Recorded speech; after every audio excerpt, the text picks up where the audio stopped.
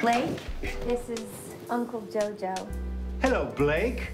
I'm George, but everybody calls me Uncle Jojo. Do you know much about World War II? Not too much. Oh.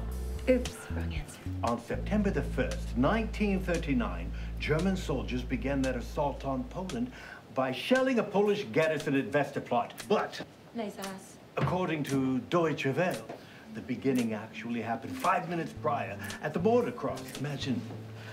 He's still talking. Yes, and he'll continue until he hits the Japanese surrender on the Missouri. And then he'll start all over, unless he switches. Switches? Well, he has this narcoleptic, multiple personality thing. And he's British? Well, no, he's not British. He got hit by a car and he's been talking ever since like that. It was Bentley.